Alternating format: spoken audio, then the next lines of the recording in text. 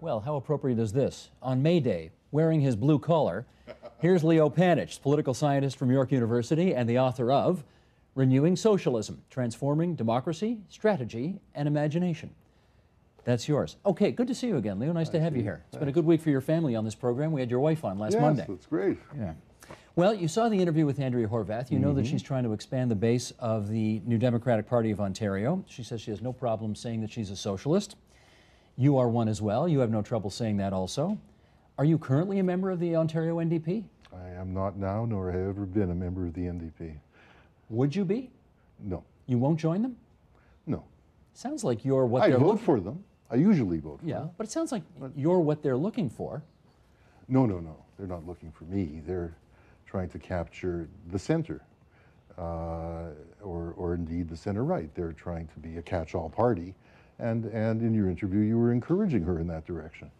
Well, I'm encouraging her to say where she felt she wanted the party to go, and I think most conventional wisdom and observers that I've talked to say she wants to move the party more to the left, to be more distinguish- distinguishable from the liberals, which I would have thought you would appreciate. Well, I, I do appreciate the fact that she described herself as a socialist, although you'll notice in the same breath at one point in the interview, she said, you know, I know what capitalism is. I accept there's a market society, there's got to be shareholders, et cetera. Uh, you know, what we want is that little boy whose father makes so much money should, you know, have a little bit of guilt about the kids in his school. They're usually not in the same school, uh, who, whose parents don't make as much money, and we ought to transfer a little bit. And, and that's what presumably uh, she's going to make a case about being a socialist is, which is really running away from it. I think she probably has deeper convictions, and I think she's probably far more anti-capitalist than she's willing to say to you. Um, nevertheless, you know, the way she put it uh, is we'll try to put some band-aids on what is inherently an unequal, uneven, crisis-ridden system. Now, let's not read too much into it. She was trying to give a definition for an eight-year-old, so I don't know. That's true, you know, right. not a, not a uh, sophisticated university professor, but you know, you, you're not sold based on what you heard so far. Well, I'm, I'm in many ways impressed. I thought it was a very good interview. Uh, I think the fact that she has roots in the labor movement, that she's proud of her father's association with the trade union, uh, that uh, she's willing to speak in terms of not being in favor of the third way, uh, is a very uh, important thing, uh, given that's blown up in the faces of the third wayers. Um, so I think she has a good prospect uh, to be able to win the support of an increasing number of people who got caught up in the market hype of the last 10, 12 years, uh, who got caught up not only in the third way, that is, you know, we can both be humanitarians and be very close with Wall Street, which is really what Blair was about, trying to emulate Clinton's relationship to Wall Street. Um, uh, I think a lot of people now see through that, see uh, the impossibility of that leading to most people benefiting. Um, and in that context, I think she's going to convert a lot of people who most pollsters think are stuck in a position that you know they were in in previous elections for 10 years, and then they tend to extrapolate that that's where they'll be over the next 10 years. In the same way that derivatives traders extrapolated that the trends in the market would continue forever. Uh, and the same mistakes can be made by what we political call, scientists call psephologists. That is, people who study election trends. Very good. Psephologist. That's not what bad. they're called, Starts yeah. with a P, I think, doesn't That's it? right. Uh, I should just, before we leave this issue, are- you kind of like Groucho Marx on this? You don't want to be a member of a political party that would have you as a member? No, no, I'd No? be very, I'd love to be a member of a political party. I've been looking for one to join all my life. You just haven't found it yet. Still haven't found what you're looking for. And I've even tried to uh, lay the basis for creating one that would be a popular democratic socialist party. Uh, and and uh, yeah, in some ways, the failure of my generation was that we haven't managed to, to, to produce one. More on that in a bit. I do want to do another follow from the interview, though, where she affirms and defends, as you noted, the central role of the working class. And she said, at the end of the day, the struggles that labor fights for resonate with communities across the province. How much more radical do you think the NDP has to be to find favor with people like you? Well, I don't think they need to find favor with people like me. I think she's right, and you were right to be posing it, that they need to find favor with uh, the broad swathe of the population. That's who they need to find favor with. Uh, they need to, however, be engaged in a process of education and capacity building uh, so that people's level of understanding of the way the system works, uh, their positions in it, uh, becomes deeper. The role of a political party is not simply to reflect the constrained parochial attitudes uh, that, that so many people come to politics with in a society which is not very politically literate. Uh, and that especially applies to the working class. You know, those trade unions and parties like the NDP and the old communist parties played an enormously important role in terms of political education. My father, who was a working class man, a furrier in Winnipeg, had a grade four or five education. He knew much, much more about politics, the political system, about Robert's Rules of Order than do my first year students at York University. Hmm.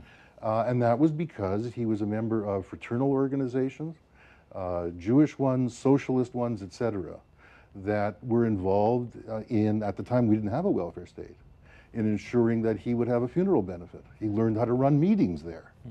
Uh, he learned far more about the history of working people than is now taught in the schools or is ever read in the newspapers. And, and that's missing. He learned far more about how capitalism works as a system. Uh, he would understand where this crisis came from better than most of my first year or even fourth year students. Well, you mentioned capitalism, and one of the words in the title of your book is socialism, and I want to pick up on that because that word, socialism, has, I think it's fair to say, made a bit of a comeback over the past six months. It's not the swear word it used to be, I guess. No, I'm in very good company being called a socialist when Obama's being called well, a socialist. Well, you know where I'm going here. This is how you put, we've got you on television. on the, You're all over this network. We've got you on Big Ideas this weekend, Saturday and Sunday at 4 p.m., with a lecture you recently gave at Ryerson University in which uh, you talk about Obama and socialism. Let's play a clip of that, and Let's we'll come back that. and talk. Roll tape, please. As the current crisis of capitalism has unfolded, Marxism almost appears to have become the flavor of the month. At the very least, to be criticized for being a Marxist today puts me in excellent company. There was nothing more pleasurable for me during the recent U.S. election campaign than seeing Obama elected, despite the right wing media calling him a socialist. Most American voters didn't respond with such shock and horror to Obama being called a socialist or even a Marxist. And when the day comes that they don't just shrug their shoulders at indifference at such charges, but actually see this designation as a positive one, we shall have really gotten somewhere. yeah, it usually works in U.S. politics when you call somebody a socialist and then everybody gets. It didn't work this it time. Didn't work this time. But the irony is, you don't even think he is a socialist, do you? Oh no, he's not a socialist. He's an extremely cautious politician. I think he's a very intelligent one. I think he's trying to do some good things. Uh, but look, Steve, uh, a whole generation of New Deal Democrats, of social democratic politicians like the leaders of the NDP, uh, took the view in the 1950s and 60s that we had achieved the mixed economy, that labor had overcome its subordinate position vis-a-vis -vis business, that finance had been removed from its predominant position in business, and that the state was no longer beholden to business. They were sure that was true. They proved to be wrong. We can see how ludicrous that is as we look back at that now, and a whole generation believed it. When that system, that Keynesian welfare state, got into crisis by the 1970s, capitalism still produced crises, along came the Friedmanites and the Republicans and the Reaganites and the Thatcherites and eventually the Blairites, to some extent even Bob Rae. And, Putting and, all of them in the same yeah, camp? I would, and they all came to the conclusion Bob that Rae we and not Margaret Thatcher in the same camp? Well, let me finish. Okay. Uh, you know that, that part of the problem is that, that workers ask too much of capitalism. Remember Bob Rae's social contract? I do. Uh, that public the public sector workers to take too much out of the system. Right? And in some senses, he paved the way for Harris uh, by virtue of the social contract. Uh, and, and the line then was that what we need was to let markets rip, don't we? Uh, and, and, you know, picking up what the voodoo that's taught in economics departments, that markets tend to equilibrium, uh, people tended to believe this. Well, now that too has proven to have not been right. So we need to ask ourselves, you know, quite fundamentally, uh, whether the socialist case, which is that if you're going to have a relatively humane, genuinely democratic, and stable society, don't you have to look for alternatives beyond capitalism? And nobody is today. Well, I'm not sure that's true. I think a lot of people are fed up with the system. They don't have any party political alternatives that offer them this. What Obama is offering them at best is a return to, we'll be able to, as we did after the New Deal, right, uh, att- produce within capitalism equality and stability. And that's not going to be proved possible. The, you know, the greater realist, if you want to put it this way, uh, than Obama uh, or even than Ignatieff uh, is the person who sees that you can't square the circle, that capitalism can't be turned into an equitable, harmonious, stable system. I'm so tempted right now to take this interview totally off course and get into a bit of a fight with you over your interpretation of the social contract from how many years ago was this now? 15? Uh, even More, more, 16. even more, yeah.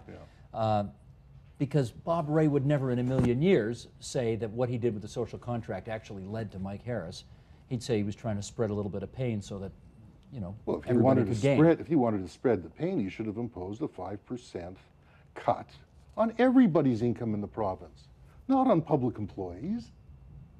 That And would- by that would be- doing that, it, it laid the grounds for Harris being able to come along and say, the problem is public employees.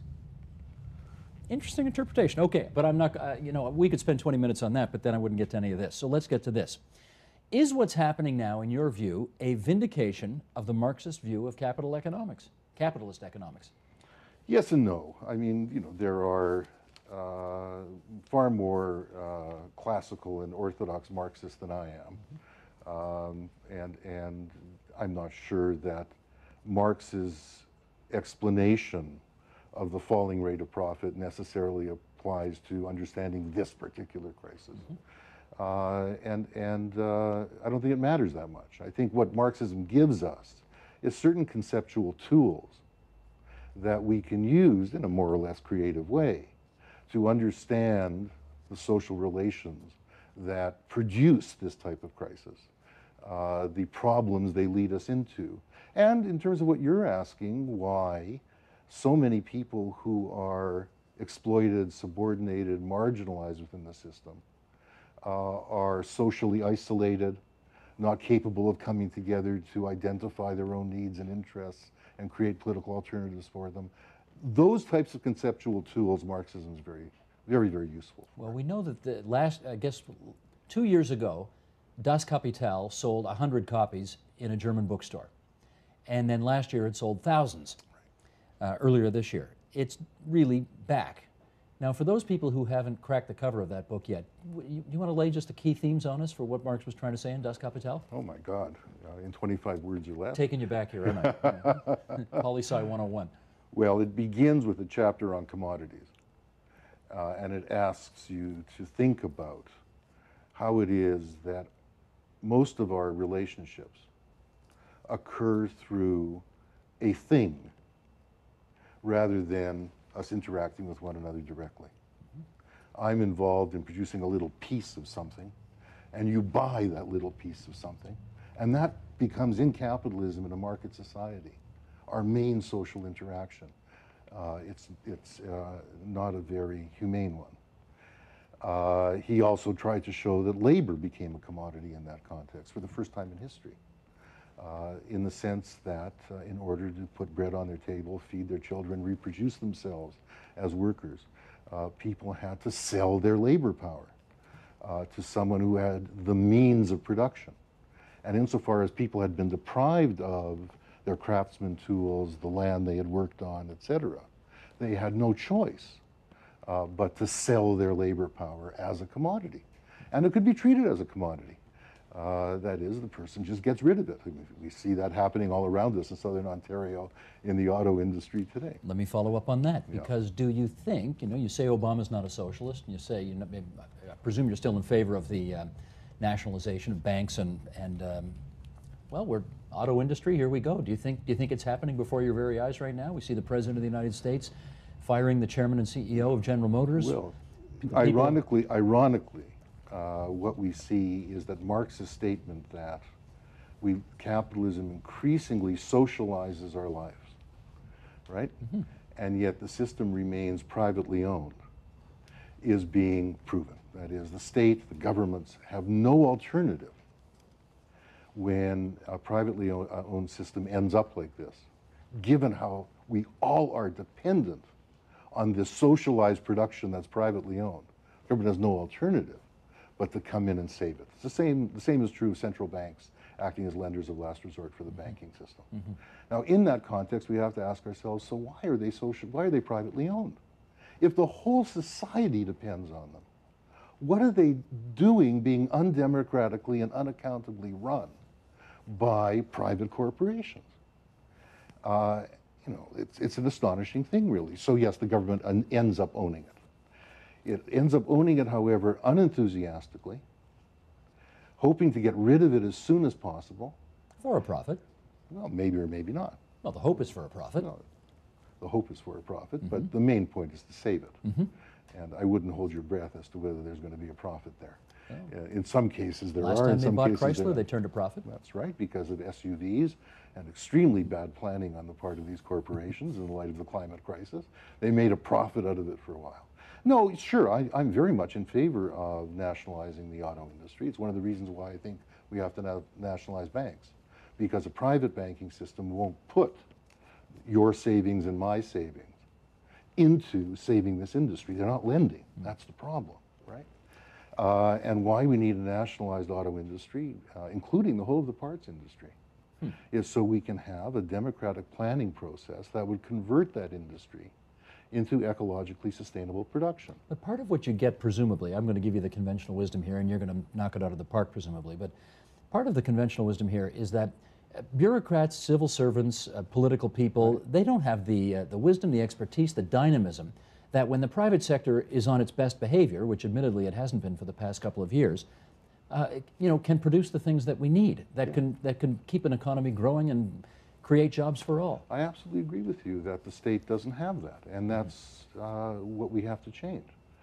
Uh, to say the state doesn't have it is not to say that General Motors had it, right? True. Uh, there's loads of bureaucracy in these giant corporations. There's enormous Me Tooism. Uh, there are lines of command that look exactly like the Department of Defense. Don't kid yourself. Uh, so these are giant uh, organizations. Uh, and the notion that they are inherently innovative and entrepreneurial is a myth. Uh, that's not to say that capitalism hasn't been an incredibly dynamic and revolutionary system in many respects. But if we're going to have a democratic society, given the socialization we're speaking of, then we've got to figure out how to take the public sector and turn it from being what I agree is organized in a highly bureaucratic fashion, in one, one that is made up of Me Tooism in many ways, uh, one that is not very democratic in the way it's internally organized. And yes, indeed, try to put the creativity uh, that human beings are capable of uh, into our public institutions. You know, I think that's true of TVO, Steve. Uh, it isn't, you know, the case that Global is a more creative uh, arts institution and, and cultural institution in this country than TVO is. It's absolutely not the case. I hope I don't get sued by Global for saying this. So it, it's not impossible, but I entir- entirely agree with you that as the state is composed now, it can't be that. But you have to remember that one of the reasons it's not that is that the very powerful corporations in the private sector don't want it to be that. I understand, but, but compensation, I think, is important to the people who run these outfits. The Premier of Ontario is running a $100 billion company, and he makes, you know, $250,000 a year. There's nobody who's going to run a big car company for that. There's nobody who's going to run a big, you know, nickel manufacturing Well, not the way that. it's currently constructed. Right. We, if, we need to, of course, change the way we look at the world. Uh, you know, what you do and what I do, uh, presumably we chose to do them as opposed to becoming Bay Street corporate lawyers or what have you. uh, we recognize we wouldn't be making that kind of money, uh, but we would have a more creative life. Uh, and, and I think that's what most people need to aspire to. It involves changing the ambitions of people in terms of what they want to do with their lives. Is that part of what you mean when you say we got to break with the logic of capitalist markets? Yes, very largely. I think that that's right. Uh, you know, that also involves, to be fair, changing how we understand, all of us understand, what our standard of living ought to be. Because if we're going to have this kind of transformed auto sector, where which is producing solar panels with the enormous skills of the tool and die makers that are now going to go completely to waste, uh, that who are going to be laid off uh, in these tremendously creative and, and, and innovative uh, parts plants, auto parts plants. You know, those skills and the machinery involved ought to be turned into producing other things. But that means changing in many ways what we understand our standard of living to be.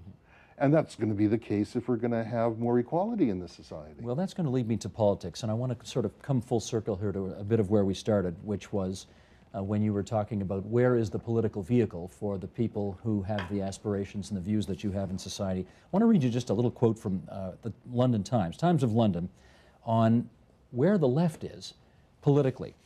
Uh, here we go. The failure of the left to gain from the crisis is not surprising.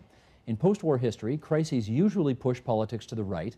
When voters are worried about economics, they tend to heed business opinion and trust politicians with business support.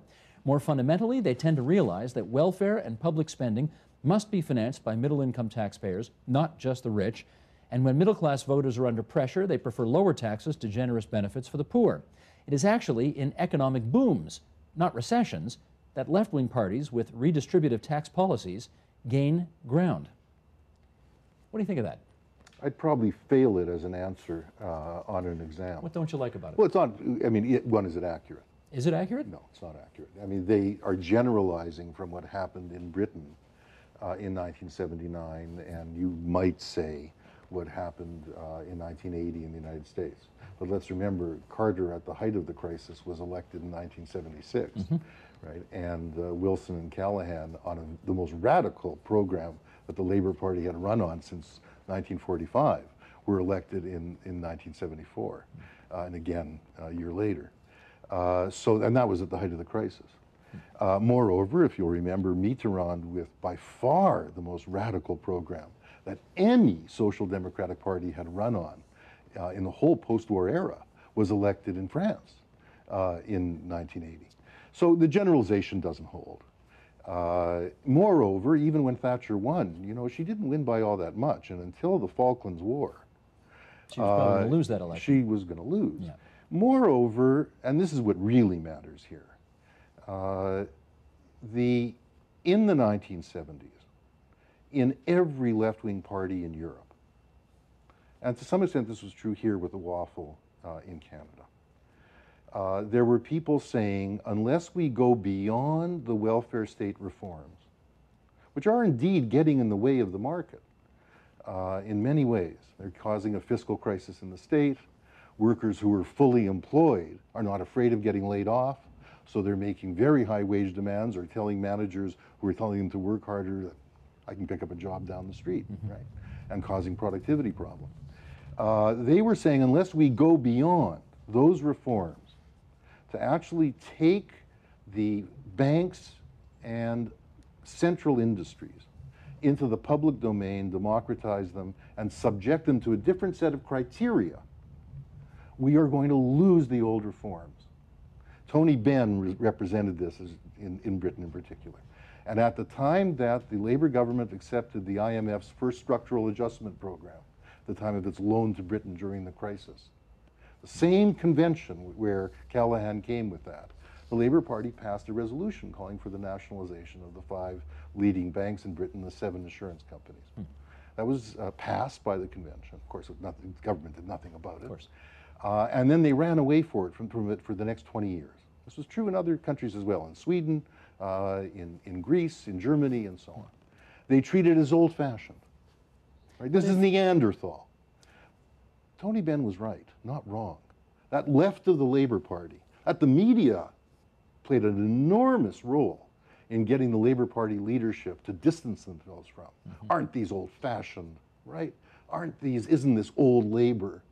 Aren't we beyond the days when we can possibly conceive of treating the economy as something we can democratize?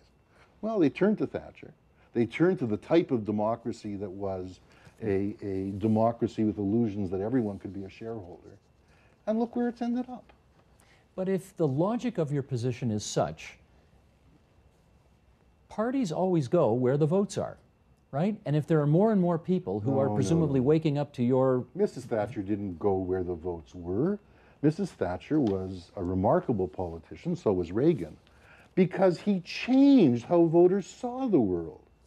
That's what Benn was so good at as well. It isn't only people on the right who are capable of doing that. Mm-hmm. Tommy Douglas did it. I mean, do you think that most Saskatchewan farmers uh, were always of the view that hospital insurance and health insurance was a good thing and doctors wouldn't become bureaucrats mm-hmm. and they'd get lousy health care? No, he moved It the involves the type of politician who is capable of giving people the capacity to think in a different way. Hmm.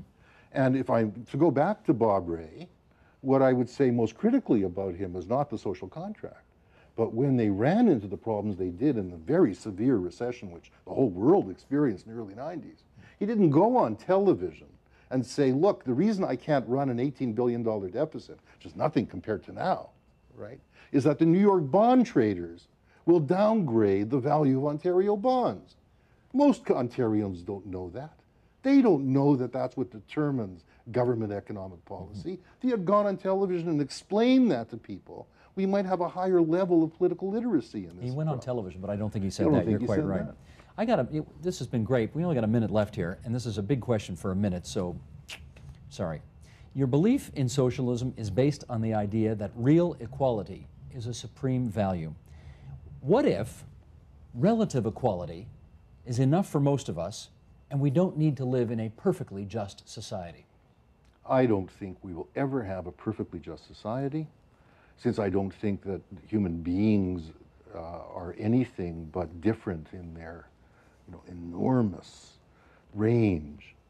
I don't want equality in the sense of sameness.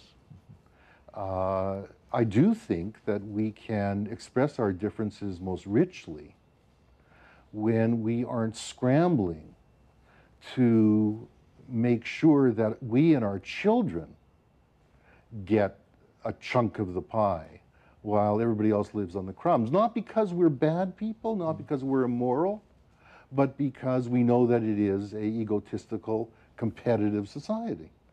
Uh, so, you know, it's not equality in the sense of sameness I want. It's, I rather think that human beings are capable of, and we see it in many aspects of our lives now, are capable of generosity, reciprocity, uh, not charity. And I'd like to organize, I'd like us to be able to organize, it's a very difficult thing to do, a social order that allows us to express our differences and our creativity in a way that doesn't involve some earning billions and some, Some earning nothing. earning Yeah. nothing. Leo Panitch, we thank you for sharing May Day with us. Great to be here, Steve. Great to have you here. Thanks Thanks, so for much. doing this.